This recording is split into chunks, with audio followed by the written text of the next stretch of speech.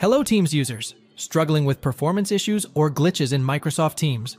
In the next 10 seconds, I'll guide you on how to clear the cache in the new Microsoft Teams for a smoother collaboration experience. Let's get started.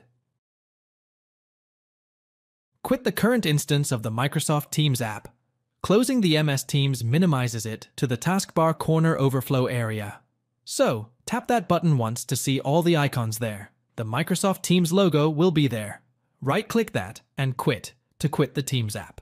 Now, hold down the Windows and the R keys briefly. Later, paste this address into the box and hit Enter. C to user so percent, username percents, app dadajjai local packages, Microsoft Teams, underscore 8 wiki b3 d8 bbwe teams stores the local cache on your computer here. So, select all the files and folders you find there. Hit the delete key from your keyboard and empty the entire folder. Thanks for watching. If it helps, make sure to hit like and subscribe.